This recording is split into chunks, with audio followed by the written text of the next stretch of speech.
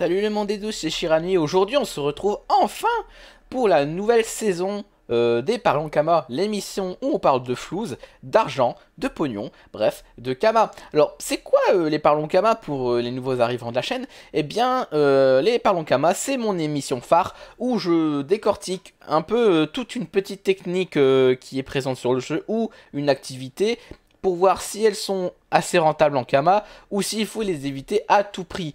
Euh, le tout avec une certaine transparence grâce au pouvoir des mathématiques.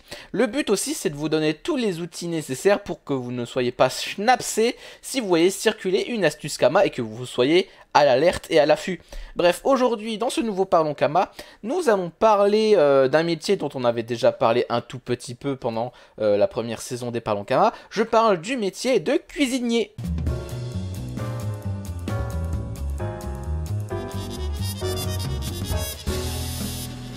Alors, qu'est-ce que j'ai à beau de dire cette fois-ci sur le métier de pêcheur? Alors, pour ceux qui ont déjà vu la première saison, rappelez-vous, quand je parlais du métier de pêcheur, je... Enfin, pas du métier de pêcheur, du métier de cuisinier, mais bon, vous allez voir que c'est plutôt facilement, plutôt lié finalement. Je parlais euh, du métier de cuisinier euh, via le, le craft qui s'appelle le chaussé au.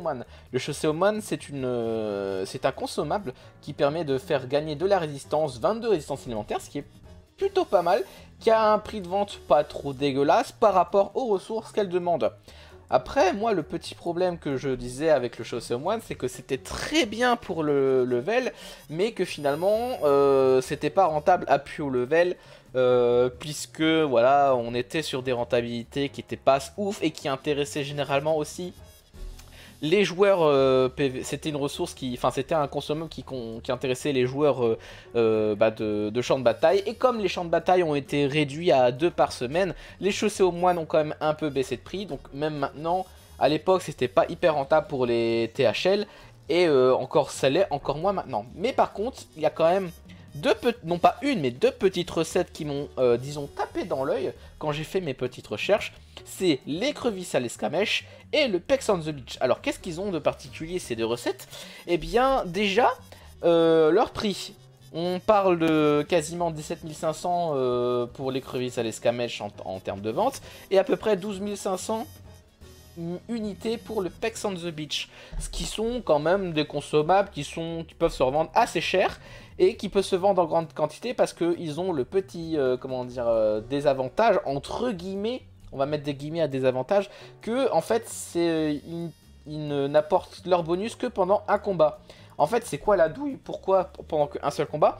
Eh bien parce que c'est le deuxième point euh, qui a fait que ça m'a intrigué. C'est le nombre de craft que vous faites en unité de craft. Enfin, c'est le nombre de, consommables que vous faites en unité de craft. C'est-à-dire que avec euh, tous les ingrédients que vous avez besoin en une, fois, vous allez en fait euh, faire 10 écrevisses à l'escamèche ou 10 pecks on, the, on the beach. Donc en fait, le craft ne vous rapporte pas, par exemple, pour euh, des écrevisses 22 000, enfin 17 500, mais 175 000 pour l'écrevisse et 125 000 pour le Pex on the Beach. Et ce qui m'a aussi tapé dans l'œil, c'est en termes de ressources. En fait, toutes les ressources que l'écrevisse ou le Pex on the Beach demandent, ce n'est qu'une ressource qui se trouve, euh, qui sont quasiment tous concentrés sur euh, l'île de Moon. C'est simple, pour avoir toutes les ressources, il vous suffit justement de longer le bord de Moon en pêchant et en récupérant que quasiment tous les tous les comment dire les ressources euh, trappeurs de mobs morts sur votre chemin et vous avez tout ce qu'il faut pour fabriquer des écrevisses à l'escamèche ou euh, le Pex on the Beach, et ça de manière euh, assez rapide, assez simple, et vous n'avez pas vraiment besoin de, voilà, de voyager à droite à gauche pour récupérer des ingrédients, tout est centralisé sur les bordures de Moon, et ça en vrai, c'est un gain de temps qui est, euh, je trouve, plutôt assez incroyable. Mais aussi, une, chose, une autre chose qui m'a interpellé, c'est au niveau des prix des ressources. En fait, les ressources de Moon, que ce soit la pêche, que ce soit le trappeur, en fait, ont énormément baissé de prix euh, par rapport euh, à avant, et ça ne fait que baisser, à tel point où même carrément les caïmans TikTok ont un prix des fois qui se vend euh, bien inférieur aux milliers de Kama, et c'est pareil pour le Namoku, le Namoclown en termes d'unité. Donc du coup, c'est peut-être un moyen de farmer avec, via ces ressources, justement, des fameuses... des fameux crafts qui peuvent rapporter en, utilisant justement des ressources que personne ne rachèterait en l'état car ils sont beaucoup trop beaucoup pas enfin voilà les gens en ont moins besoin et c'est pour ça que les prix ont pas mal baissé euh, et qui continuent à baisser. Donc euh, des crafts qui peuvent rapporter aussi cher avec des ressources aussi euh, basses en prix.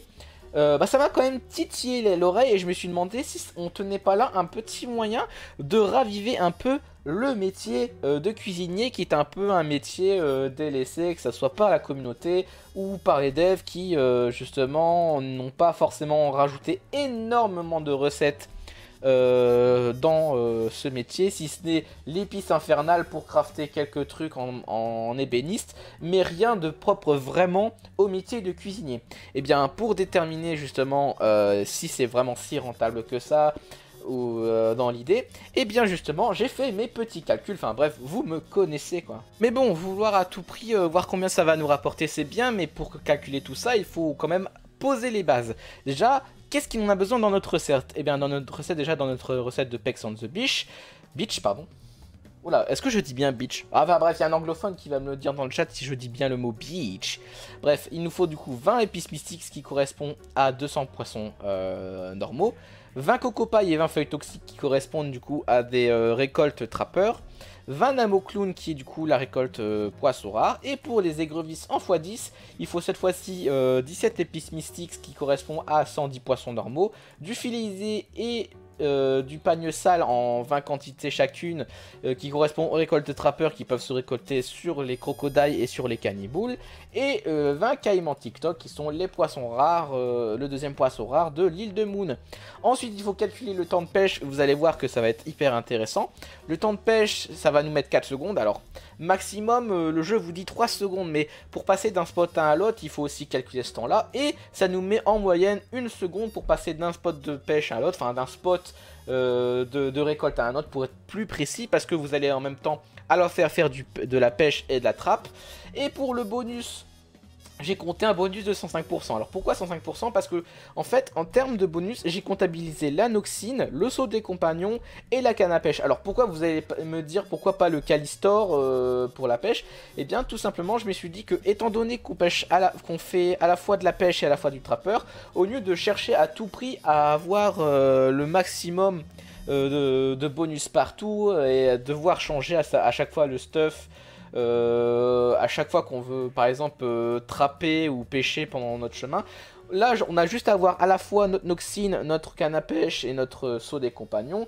Et euh, dès qu'on voit un, dès que on voit un, comment on dit, trappeur qui nous intéresse pendant qu'on fait notre course de pêcheur, on a juste à faire un petit passage vers ce spot là de trappeur et de revenir sur notre truc de pêche sans pour autant perdre du temps à, à changer les stuffs, etc. dans notre inventaire.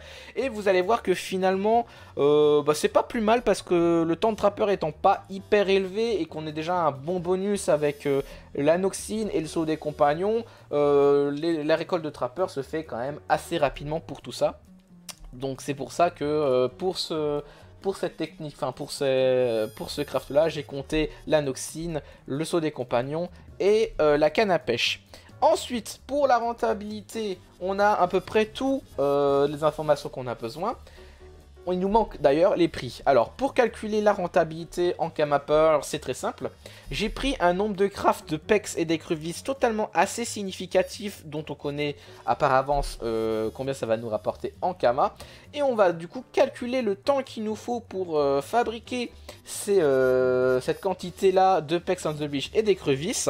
Et ensuite, on va corréler euh, le prix en Kama de tout ce qu'on aura crafté par rapport au temps qu'on a mis. Et c'est ça qui va nous donner la rentabilité en Kama par heure. Donc pour euh, calculer la rentabilité, je me suis basé sur 30 pex et 30 écrevisses. J'ai compilé euh, tout ce qu'on a besoin en termes de ressources de manière le plus simple possible, donc en termes de poissons normaux, de poissons rares et de ressources trappeurs rares. Donc il nous faut 100, 1110 poissons normaux, 120 poissons rares et 240 ressources trappeurs rares.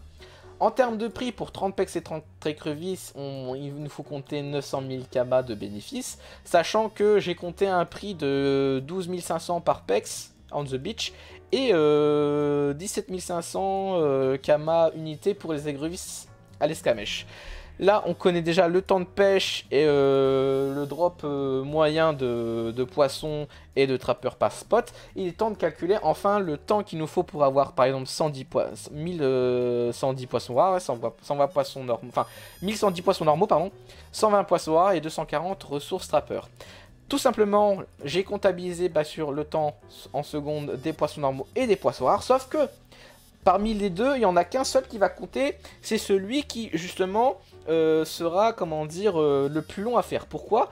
Parce qu'en fait, lorsque vous pêchez, vous avez 10% de chance euh, d'avoir un poisson rare et 90% de chance que ce soit un poisson, un spot de poisson normaux. Donc même sur le nombre de, spots qu'il faut faire pour avoir le poisson normal, j'ai compté aussi un, avec un coefficient de 0,9 pour les poissons normaux et un coefficient de 0,1 pour les poissons rares. Et comme face, de toute manière, lorsque vous arrivez sur un spot, vous fermez les deux en même temps, puisque c'est euh, tous les deux des ressources pêcheurs. Il n'y en a qu'un seul qui va nous intéresser, en termes de temps, dans le calcul, c'est celui où euh, le temps de récolte sera plus long, parce que finalement, ça voudrait dire que, par exemple, quand on a fini de, pêcher tous les poissons normaux, on a eu le temps en même temps de faire tous les poissons rares. Tout simplement. Ensuite, euh, donc du coup là, nous, comme c'est le temps des poissons normaux qui nous intéresse, on prend le temps des poissons normaux. On euh, y rajoute aussi le temps qu'il nous faut pour euh, faire les, ressources trappeurs. 169 spots, c'est très nice par rapport... J'ai pas fait exprès, je vous jure que j'ai pas fait exprès 169 spots. Du coup, ça nous rajoute plus 171 secondes, 171 secondes. Ce qui nous fait un temps de 1375 secondes, donc 0,38 38 heures. 0,38 heures. Du coup, ça nous fait du coup 0,38 heures pour 900 000 kama, donc ce qui fait une rentabilité totale euh, en kama par heure de 2 356 911 kama par heure en faisant, en faisant des pecs on the beach et des écrevisses. Ça, du coup, c'est pour la théorie. Mais du coup, pour la pratique, est-ce que c'est vraiment rentable? Est-ce qu'on peut dire de cette valeur Eh bien, en termes de valeur de rentabilité, on peut dire qu'effectivement, c'est plutôt ok. C'est pas non plus la grosse panachée, c'est pas non plus euh, ultra euh, maigre comme euh, gain de Kama, mais je dirais que c'est plutôt équivalent à des ressources, à des farms de ressources plus classiques type euh, forestier, euh, mineur, etc. pour des levels 215-230. Ce qui est plutôt pas mal, sachant que euh, au niveau des métiers de cuisine, ce qui est assez intéressant aussi, c'est que elles sont beaucoup moins sujettes à la baisse que si, en termes de prix, que si justement vous mettiez à vendre des items de forestier ou des items de mineur, parce que généralement les items de mineur et de forestier vont finir dans un craft qui est persistant, là où les items de cuisinier, comme c'est dans un petit bonus euh, temporaire, euh, ben euh, bah, justement vous êtes moins sujette à ce que les prix baissent parce que les produits sont transformés et que les gens n'en ont plus besoin pour leur, pour leur craft ou pour leurs items. Après par contre, est-ce que ça se vend ces items là eh bien, autant pour le Pex on the Beach c'est un peu compliqué, autant les crevisses ça marche plutôt bien. Donc à la limite, si euh, vous voulez être sûr un peu de, de vendre assez bien euh, votre récolte, autant peut-être plus vous focaliser sur l'écrevisse à l'escamèche en termes de ressources à récolter plutôt que le Pex on the Beach. Et surtout, je vous conseille aussi un truc, c'est euh, d'éviter de mettre de trop gros paquets euh, d'écrevisses à escamèche en vente. Parce que justement, si vous en mettez trop en vente, euh, ben vous risquez aussi de toucher pas forcément... tout le monde n'a pas forcément besoin d'écrevisses à escamèche sur le moment. Donc vous mettez en petite quantité et une, fois que vous avez épuisé votre quantité en HDV, vous en remettez au fur et à mesure. Ce qui va vous permettre de pas non plus avoir de grosses dépenses en termes de taxes et ça vous fait quelques petits kamas en monocompte pour pouvoir vous payer peut-être un abonnement. Euh, sur un ou plusieurs comptes qui va vous permettre de faire là par contre d'autres contenus in-game qui sera quand même plus intéressant je pense en termes de rentabilité euh, mais ça je pense que nous en parlerons peut-être dans de futures vidéos. Et voilà qui conclut la vidéo, j'espère qu'elle vous a plu et j'espère aussi que le retour des Parlons Kama euh, vous fait extrêmement plaisir. Euh, si la vidéo vous a plu, n'hésitez pas à la partager, mettre un petit pouce, à la commenter et puis aussi, je sais pas, à vous abonner peut-être pour ne rater des prochains Parlons Kama qui viendront sur la chaîne et plus généralement des futures vidéos. Vous pouvez aussi me rejoindre sur Twitch à euh, twitch.tv slash shira-du-bas nuit pour des lives Wakfu de 17h à 20h 2 à 3 fois par semaine Et d'ici octobre, je vais aussi commencer à faire des lives un peu plus chill sur d'autres petits contenus comme du React, des autres jeux vidéo, etc. Bref, n'hésite pas à faire un petit, un petit coucou sur Twitch et lancer ton meilleur beats pour remplir la barre. Et vous pouvez aussi me rejoindre aussi sur le Discord de la chaîne où on parle justement de Wafu, de Dofu, de Waven, de tout le contenu en Kama en général et aussi de plein d'autres petits trucs. Vous pouvez aussi rejoindre, si vous ne pouvez pas vous rejoindre la chaîne Twitch, la chaîne secondaire où je reposte aussi de temps en temps euh, des replays de live euh, très courts, des temps forts, ainsi que bah, justement des petits euh, shorts qui viennent tout droit des petits clips faits par la communauté sur Twitch. Bref, je vous dis à bientôt, passez une bonne soirée et bisous bisous